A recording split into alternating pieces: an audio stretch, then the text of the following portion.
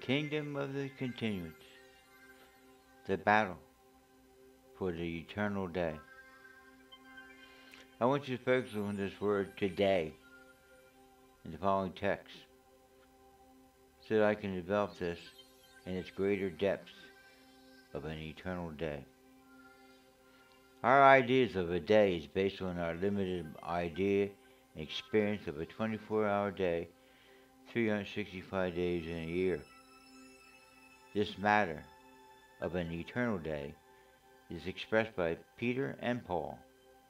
It helps us to get some idea from God's eternal viewpoint using natural illustrations to explain the spiritual reality.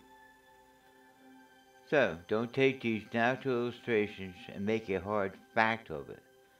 Focus in on the eternal fact that Scriptures wants us to understand with the mind of Christ and our quickened human spirits by the Holy Spirit. Here are some uh, texts to consider.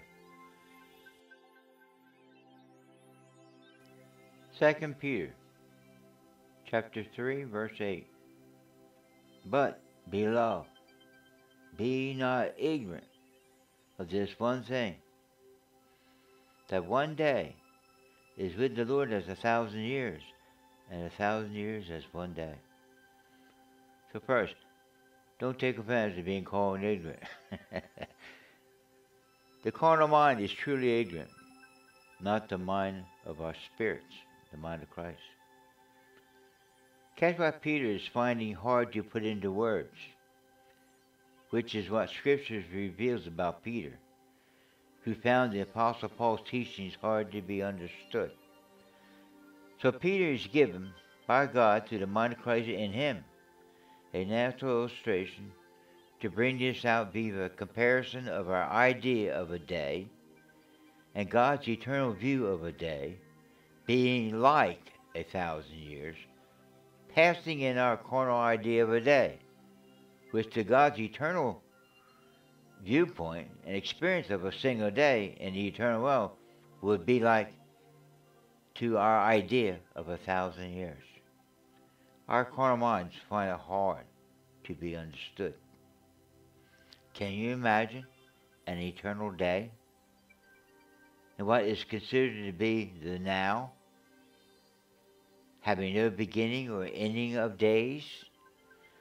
Paul the Apostle touched on this, with many misunderstanding it when he said, 2 Corinthians chapter 6, verse 2, For he, God, said, I have heard thee in a time accepted, and in a day of salvation have I succoured thee, came to your help, in other words, old English word. Behold, now is the accepted time. Behold, now is the day of salvation. So, time accepted is really a day of salvation, which is a, as a day of the Lord, not our idea of when we accepted Him. Let me explain that.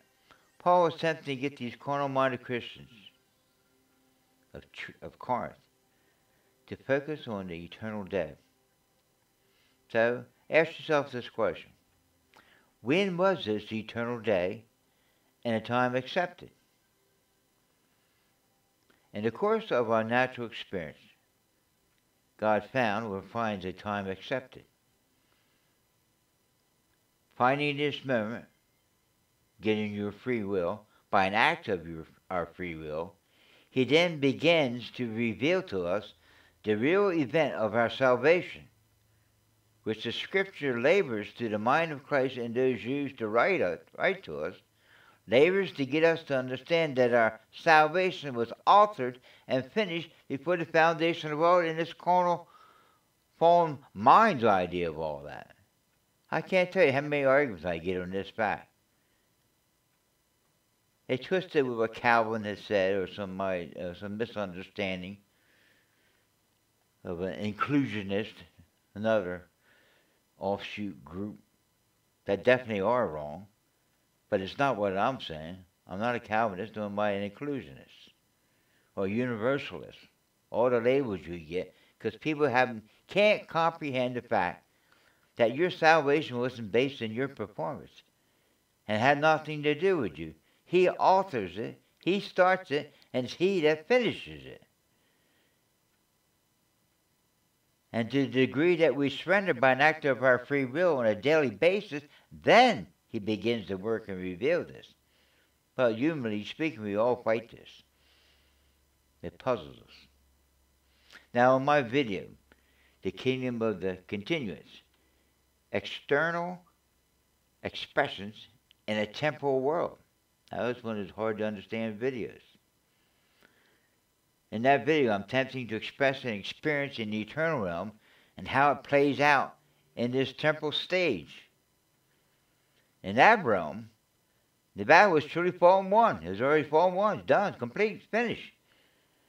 Beyond this idea of the flesh and blood, race, culture, second religious creeds, and pendants of gender, male, female, that battle in the eternal realm is beyond any idea we have ever considered with the carnal mind and human history. It requires the mind of Christ to hear and to see it. Remember, flesh and blood has not revealed this to you. This is your opinion ideas from a human carnal mind standpoint. Now I can hear the question. Where are you getting these strange teachings? the only answer I can give is the mind of Christ, said to be in us all. Sure isn't my mind. But for the skeptic, here are a few things to consider. We have had thrown at us to keep it simple, brother. But them using the following text found in 2 Corinthians 11.3. But I fear, see, that's the trouble. But I fear lest by any means, as the serpent beguiled Eve to his subtlety, so your mind should be corrupted by the simplicity that is in Christ. When they take out the word in Christ and put there the simplicity of the gospel. Keep it simple, brothers. You always quote 1 Corinthians chapter 15, verses 1 and 2. That's the simple gospel. Yes, and it's the simplicity. But there's a complexity of all this to which immaturity you'll get into. But when you first believe, you don't know half these things. Notice we are warned in the book of Proverbs the following in light of this word simplicity. Proverbs 1, verse 22. How long, you simple ones? Sounds like Peter, right? Very good. How long, you simple ones, will you love simplicity? And the scoffers delight in their scoffing. Fools hate knowledge. Sure, the knowledge of this world. This knowledge world is foolishness. He's talking about the wisdom and knowledge of in the mind of Christ that's hidden there, waiting to be expounded upon, worked out by the Holy Spirit. Also notice in 2 Corinthians 11.3 that it said that true simplicity is found in Christ. The mind of Christ and a quickened human spirits by the Holy Spirit. Now I always have to express it that way because people just don't understand that. It's the mind of Christ in a quickened human spirit by the Holy Spirit. It's a whole different mind. So you see, this word simplicity carries a deeper meaning beyond our dictionary ideas of keeping it simple. It's like that stupid phrase, KISS, K I S S. Keep it simple, stupid. Who's being stupid here?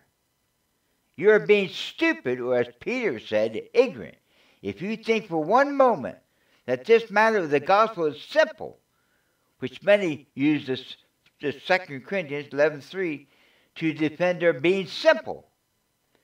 It is simple with the mind of Christ, yet it isn't in the self-willed religious mind that thinks that keeping things to some simple religious formula, according to some particular religious denominational slant, is keeping it simple. These individuals simply aren't willing to go on to matters deeper than the carnal mind, secular or religious. They are, without knowing it, they are doing exactly what the Satan did to Eve in the garden, questioning God. He says, go on. Length, breadth, height, and depth, the love of God transcends human experience. They are, without knowing it, they're doing exactly what Satan did to Eve in the garden, questioning God, leading her to believe that she could go with her limited mind of the flesh to figure matters out. The carnal mind will never see things. Eyes not seen this, nor has ear heard it. So before I get too far off the track on this purpose of this video, hear this hard to be understood text found in Hebrews chapter 5, verse 5. So also Christ glorified not himself, and that self being Jesus, the Son of Man, he made high priest. He was never could never been a priest. At the natural order, Levitical priesthood. But he had he that said unto him, God, Jesus, said unto Jesus, Thou art my son, today have I begotten thee. Today. That's the eternal day. Not our idea of a day.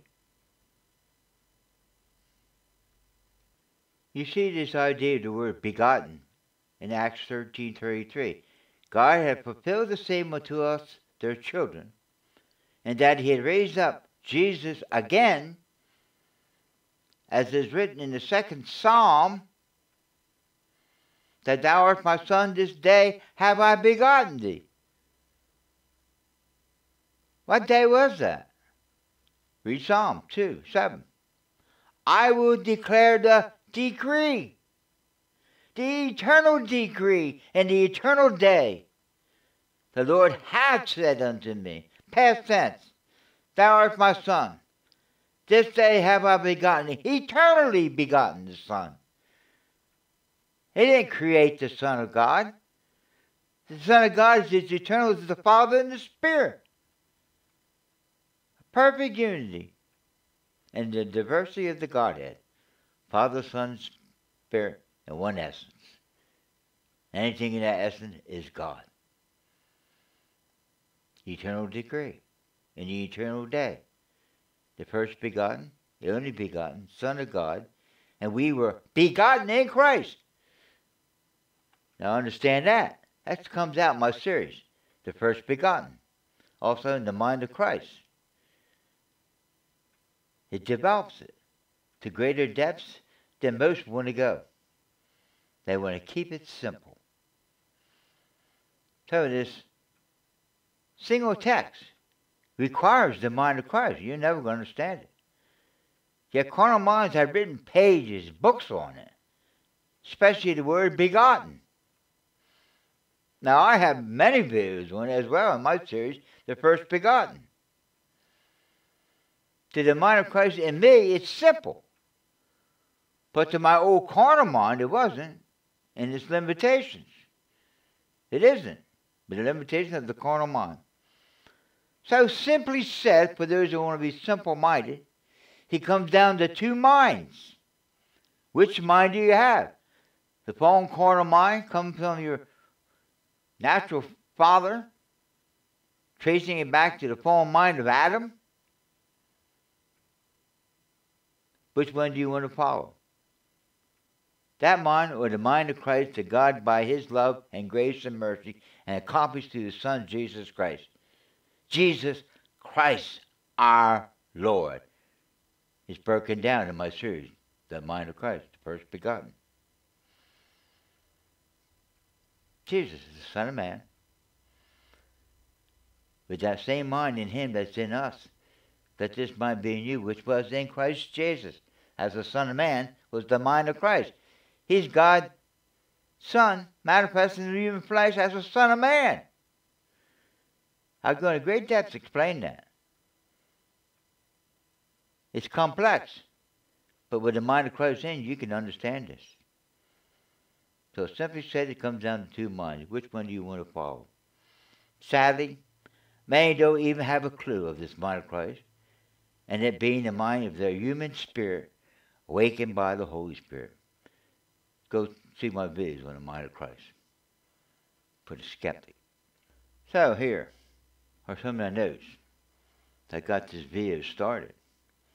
I sit down in the kitchen and get these pocket notes. I call pocket notes. God give me a thought. I jot it down. Then he gives me another thought. So I ask, what's that mean? I keep on asking, keep seeking, keep knocking. Those that keep asking, keep receiving. Those that keep seeking, find. And lo, door's open. And all of a sudden things become clearer than they ever been in your whole life. He opens you up to a whole new mind. And guess what? It's near you. It's in you. You don't have to dig them up or pull them down. That mind is in you. And you can get the, all the answers you want. You don't need to be taught of no man. That's my series on the living word manifest the fact they will be taught of the Father. So here's this thought. Here's some notes I jotted. I sat in the kitchen one day. Here's this thought that come to me. He said, the wicked of today, spoken the word today, that's where the word comes from, sort of from today. The wickedness of today is to not know that they're wicked. And why? They say, I'm wicked? Oh my God, right. Focus on the word today. And God's the eternal idea of today. It reaches beyond our idea of 24 hour day. This is the living word come to me. Thinking with your carnal mind, and without thinking that this is the mind of Christ, is about as wicked as it gets. Imagine that. It's our playing God. Thinking you, independent from God, could figure these things out with your fallen carnal mind. It's called the wisdom of the world, where it will be proven to be foolishness. Secular and religious, sadly. You think the religious people would be closer to God. Many aren't. They have a form of it, but deny its power. Along with this, reflecting on Paul's experience on Mars Hill in the book of Acts. Now, this is now what I'm telling you is what the Lord told me to do today. So I got up on the kitchen table and pulled up my Bible and looked up Mars Hill in the book of Acts, Paul's experience on Mars Hill. That's what I read. Here's what I read Acts 17 22. Then Paul stood in the midst of Mars Hill, and he said, You men of Athens, I perceive. How did he perceive? Through his carnal mind? Was he psychic? Could he read minds? No. To the mind of Christ, the Father was telling him, My, my, look at these people.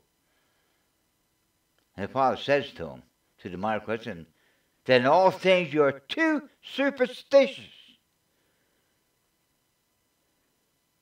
So this thing of Mars says the hill of Ares, Areopagus, a hill in Athens, Greece. Here's a word study on this text. See, after that, I'm saying, I'm, I'm starting looking, man, that got me interested. Here's study on this text, which reveals the fears that those that want to keep it simple have and keep them from going into deeper matters. Or as Hebrews chapter 6 reveals, going on to other things. Listen to that text. Hebrews 6, 1 through 3. Let's stop going over the same old ground again and again, always teaching those first lessons about Christ. You see it in institutional church.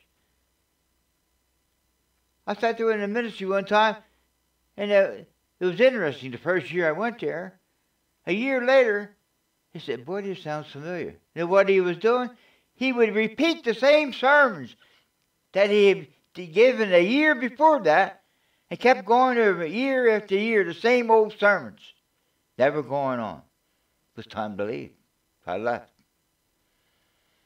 Let's go on instead to other things and become mature in our understanding, as strong Christians ought to be.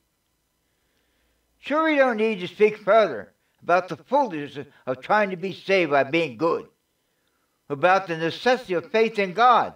You don't need further instruction about baptism, spiritual gifts, and the resurrection of the dead and the eternal judgments. The Lord willing we'll go on now with other things, but you go into many a video and in a comment area or a chat room or a church Sunday school and you see the same old debates. You go away for 20 years and you go back to visit them and they're in the same debates. Forever learning, but never come to any truth of something greater. These other things. We have videos in that for those interested. Now see this word superstitious that Paul accused the Romans that more so of being. You can talk about the Christians today too. Superstitious. Okay, from the Greek 1174. I'm not even going to try to pronounce that word. Didio, to dread. And Damion, sounds like Damon, Damion. A deity. Fear of a deity. I'm afraid of being misled by evil spirits. And they accuse you, brother, you better try the spirits spirit of God or not. I have. I know the voice of my Father. If you can, can't, if you heard the voice of your Father and had the same mind of Christ in you, you could hear what He is saying to this vessel. Anybody with the mind of Christ in him would be of the same mind. There would be no arguments, no more debates. Property, religious, superstitious fear. The devil's scarecrow keeping out of God's cornfield. Driven by a confused concept of God. You don't know about God? Ask him. He'll explain himself to you. Producing sincere but very disdirected religion. They mean well. Indeed, this is the mark of hedonism and might I add, is also the mark of self willed religion as well, afraid of going beyond that which is written. See my video on the living word. Like I said, they sing about in church, don't even know what they're singing. They're singing heresy to their interpretation. Beyond the sacred page we seek thee, Lord, our spirits pant for you, O living word. Beyond the sacred page, boy, you better tear that song out. It's called Break Thou the Bread of Life. They used to sing it during a communion. I know they did in the Baptist church I attended 40 years ago. Better tear that song out of the hymn book. And you know any more depth in it, go see my videos on the living word. Those fearful are always afraid of going on out of fear of going beyond that which is written yet not knowing that it is written that you should go on. So hear this word in the Greek, sincere. 1308. It means through, intensifying, intensifying, carry, probably take all the way through. He had begun a work and he will finish it. But you allow him to finish it. So take it all the way through to the end. Figuratively speaking, to distinguish fully, to show what is better, superior. Remember, the good wines always save for last. In translation, I am different, differ, and sometimes surpass, excel. Paul said that he outrun them all. Doing his research on his words sincere in Scripture, you discover we are commanded to be different, to surpass the secular religious mind, and to gain a new mind, the mind of Christ in a quickened human spirit by the Holy Spirit and see my videos on the mind of Christ, and you understand what I'm talking about. Or ask the mind of Christ in you, then wait till your quickened human spirit, stirred by the Holy Spirit, to get a word from your Father. Let him teach you. Don't accept my words. Because they ain't mine. don't argue with me, argue with him. And yet doing this, and what I have been sharing here on YouTube, you get labeled for being different. Well, you're different. But some calling it strange teachings. See my videos. What does this vain Bible have to say? It's based on that chapter in the book of Acts of Paul, Mars Hill. Yes, it is strange to the shallow mind, carnal, unreflecting mind. To the mind of Christ, it is strange to most. Here it is said of Paul and his teachings, Acts 17, what I just quoted, Areopagus on Mars Hill. Then certain philosophers of the Epicureans and the Stoics encountered him, and some said, What will this vain babbler say? Others said, He seemed to be setting forth of strange gods, because he preached to them Jesus and the resurrection. Well, the preaching teaching of Jesus and resurrection today to these uh, Epicurean Stoics wouldn't sound strange to them because it's what they're teaching. And they took him and brought him to Areopagus, saying, May we know what this new doctrine whereof thou speakest is? What is it? For you bring certain strange things to our ears. We know we would know, therefore, what these things mean. They didn't want to know any more than man and moon. Why? For all the Athenians and strangers which were there spent their time in doing nothing else but to, to tell to hear some new thing called the New Age today. There's nothing new about the New Age. I had videos on that in the past. Nothing new about it. It's an old hashing of old stupid satanic tricks to distract us from God and the living word and the mind of Christ that's in you. Well, see, my notes stopped there.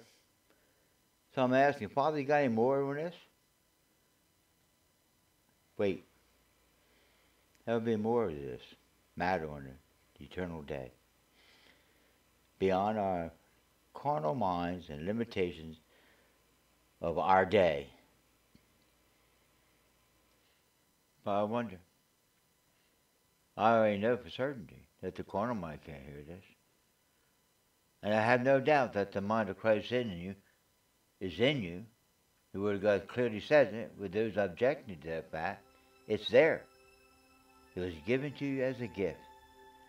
If you would wait till you quicken your human spirit by the Holy Spirit, you'll hear from the mind of Christ in you, and you'll hear from God your Father. God bless you.